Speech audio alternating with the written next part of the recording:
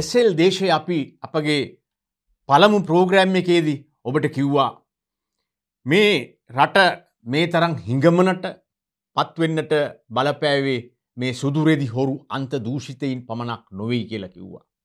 බෞතරයක් දේශපාලකයෝ හොරු බව රට්ටු පිළිගන්නවා එක එකක්.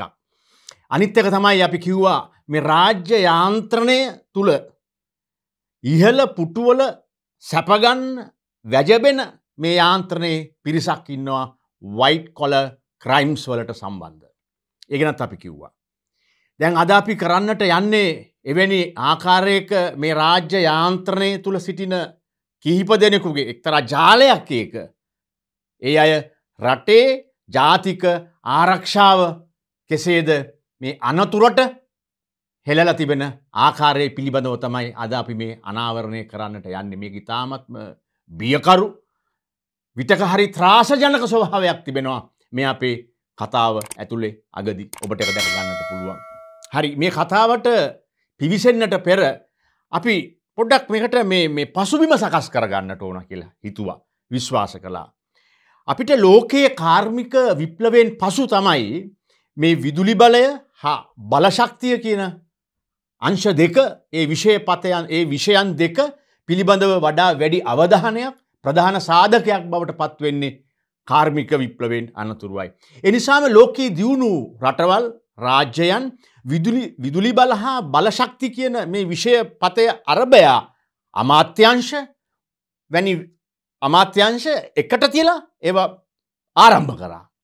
මොකද මේ දෙකේ තිබෙන වැදගත්කම හේතු කොටගෙන. ලෝකේ දියුණු රටවල් එහෙමයි. අපි මොකොද කරන්නේ.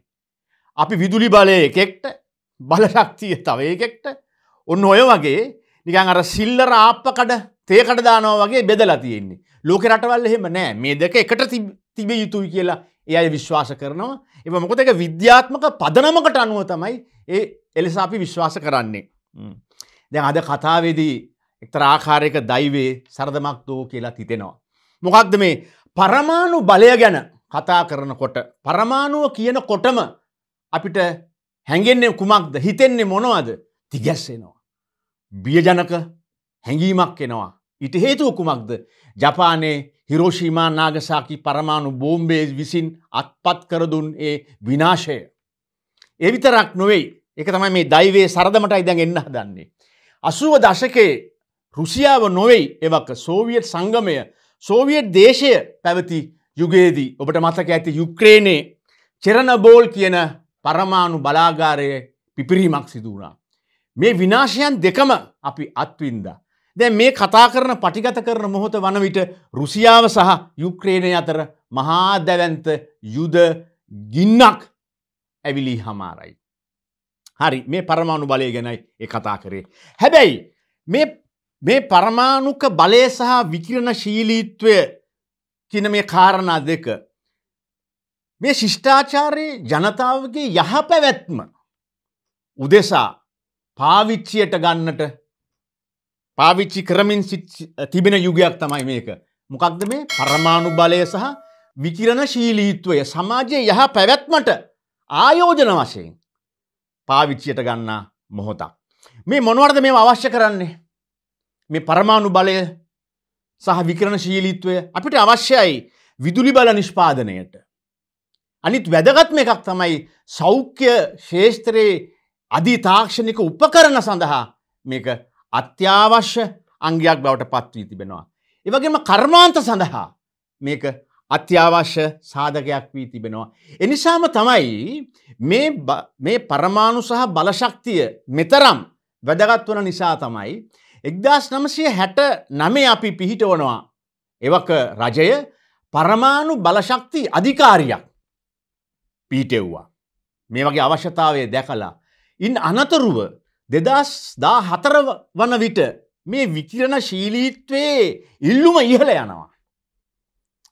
යුගය යුග පෙරලි සමඟ වර්ෂාන්තරව මේක ගෙවී යනකොට මේක අවශ්‍යතාවේ ඉල්ලුම ඉහල යනවා. වැඩි අගයක් ගන්නවා. එනිසා අපි දෙදස් හතරේ දෙදස් දා හතරේ අංක හතලිහ දරන පනතක් ගේනවා. මේ අවශ්‍යතාවේ දැකලා ඒකට ඒක කළමනා කරණය කර ගැනීම සඳහා පනතක් ගේනවා. ඒ පනතේ තිබෙනවා අංශ දෙකක් මොකක්දේ අංශ දෙක එකක් පරමාණු බලශක්ති මණ්ඩලය අන්න බිහි වෙනවා.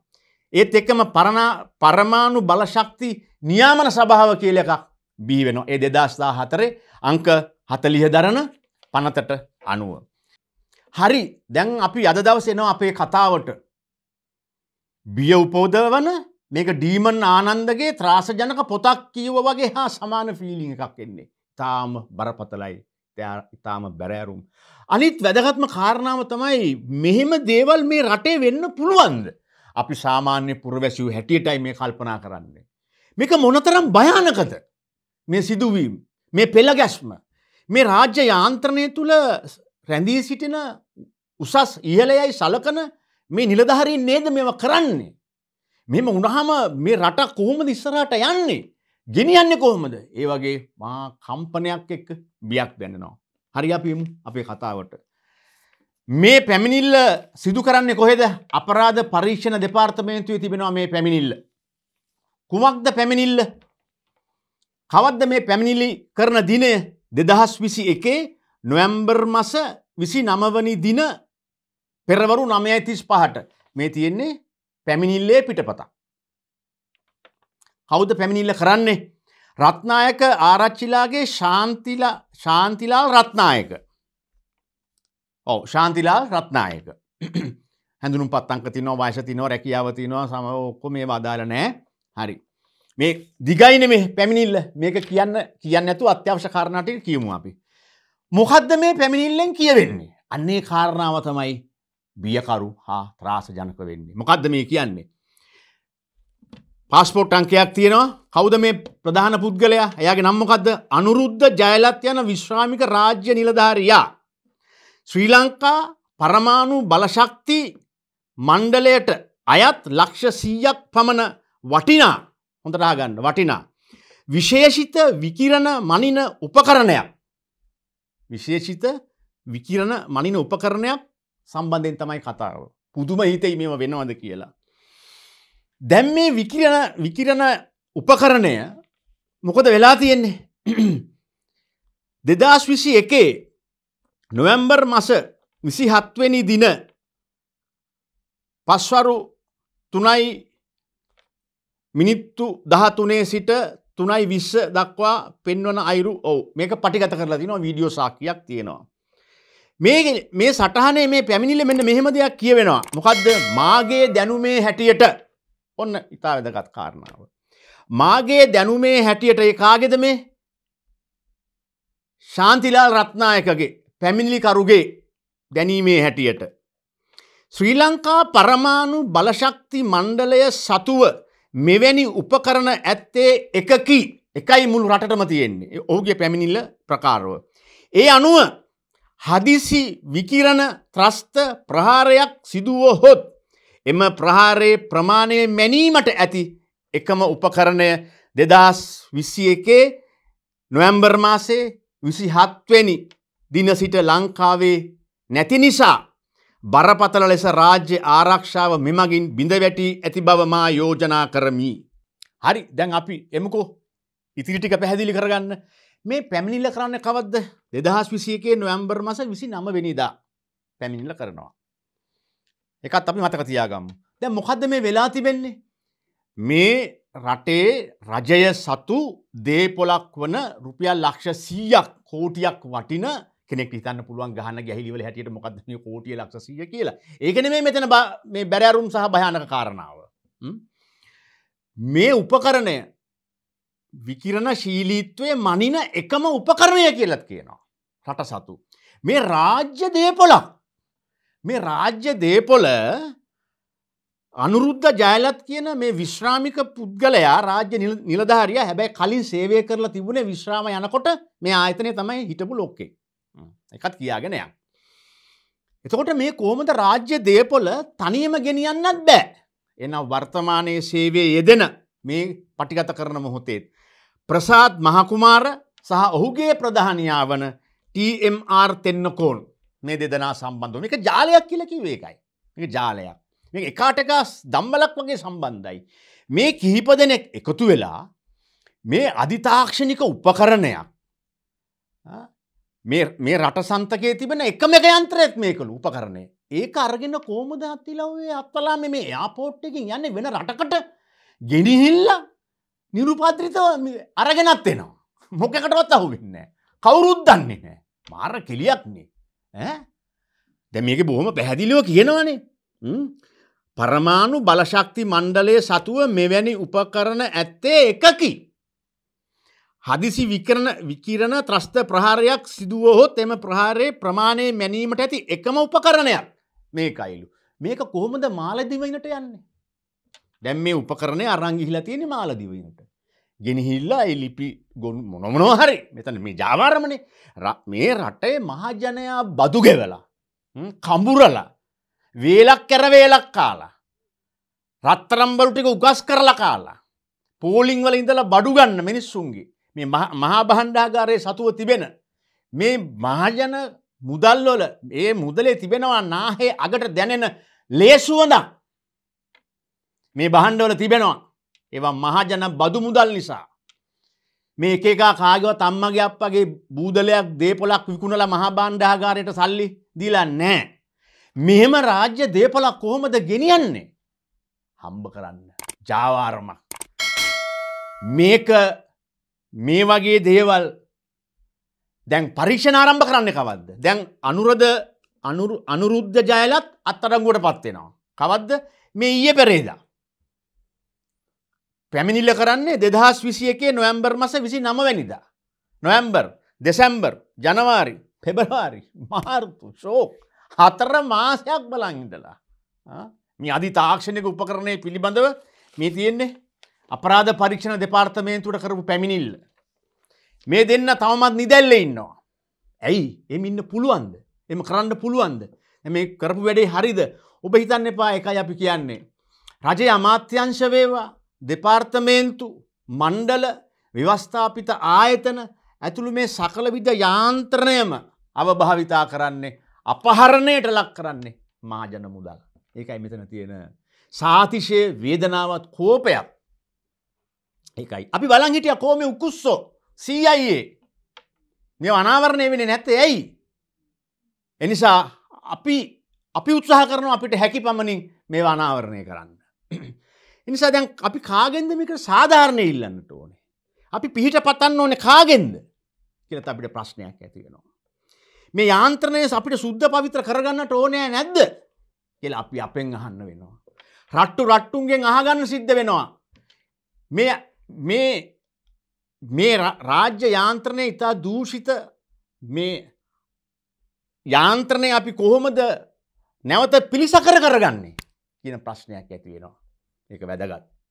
ඇයි අපි කියන්නේ මේක ඉතාමත්ම භයනකයි බියකරුයි මේක අන්තරාකාරී කෙල ඇයි අපි කියන්නේ. පරමාණු බලශක්ති මණ්ඩලේ ඉතා සංවේදී තැනක්. ඒ එනිසා තම අපි කියන මේ ජාතික ආරක්ෂාවට මේක රිජුව බලපානවා කියන කාරණාව කියන අපේ නිසයි. එනිසා දැන් හොයන්නට ඕනෑ මේ වගේ නිලධහරීන්ගේ මේ දූෂිත රාජ්‍ය නිලධහරී පැලැන්තිය වත්කම් හොයන්න ඕනා. තමන් සතුව තිබෙන දේපොල දරුව කොහෙද ඉගෙන ගන්නේ. කොහොමද තරුපන්තිය හෝටල් වල ලැගුම් ගන්නේ සා විශේෂ විමර්ශනයක් ආරම්භ කරන්නට ඕනෑ. මේ රටේ මිනිස්සු දන්නවා රාජ්‍ය යාන්ත්‍රණය දූෂිතයි කියලා. ඒ විතරක් නෙමෙයි මේ පටිගත කරන මොහොත වන විට අපිට ලැබී තිබෙන තොරතුරු ප්‍රකාරව මේ ප්‍රසාත් මහකුමාර නැමැත්තා. අප්‍රේල් මාසෙ හතරවෙනිදා රටින් පිටවෙන්නට සියලුම සැලසුම සකස් කරලා ඉවරයි. කොයිද යන්නේ අවස්ට්‍රියාවේ ව්‍යාන යන්න. ඇයි එතකොට මේ නඩුව ගෙනියන්න බෑ. සාක්ෂි නෑ. සාක්ෂි නැතුව චෝදනාව ඔප්පුකරගන්න බැරිවුණ හම ඒ නඩුව විසි වෙනවා. මේ සමස්තය මේ එක්කම චේන් මේ රංචුවක් විසින් මේක ඕගනයිස් කරලා තියෙන්නේ. මේ වගේ සංවේදී තැන්වල දැන් අප්‍රේල් මාසේ හතරවෙනිද යන්නේ අවස්ට්‍රියාව ව්‍යානාවලට ඒ කෝම ලෑසි කරලා තියෙන්නේ. දැම්මකොත කරන්නේ. යන්ඩ දෙනවාද අත් අඩංගුවට අරගෙන මේ පිළිබඳව විමර්ශනය කරනවාද. ඒක ඉතිං අපි බලධහරීන්ගේ අවධාරණය පිණිස යොමු කරනවා. එනිසා මේ වගේ මේ ඔබ හිතන්න එපා පරමාණු බලශක්ති මණ්ඩලේ පමණයි මේ වගේ දූෂිත වංචා ගණු දෙනු තිබෙන්නේ කියලා. මේක විදුලි බල මණ්ඩලේ වේවා දේශී ආදෑම් බදු දෙපාර්තමේන්තුව වේවා ශ්‍රී ලංකාවේ රේගු දෙපාර්තමේන්තුව වේවා සුරාබදු වේවා මේ රටට මේ නස් පැත්තියට වගකිව යුතු හොරු ටිකක් ඉන්නවා. ඒක අනාවරණය කරන්න ඕනක්. එනිසා අපි පළමුුව ඔබට මතකයි මාර්තු මාසේ පලවිනිද අපි කිව්වා මේ අනාවරණය කිරීමට සාක්ෂි තිබෙන නම් නමුත් පලට්ෆෝර්ම් එකක් නැති අයට පාවිච්චි කරන පුළුවන් මේ පලට්ෆෝර්ම එකේ සඳහා තොරතුරු අනාවරණය කරන්න.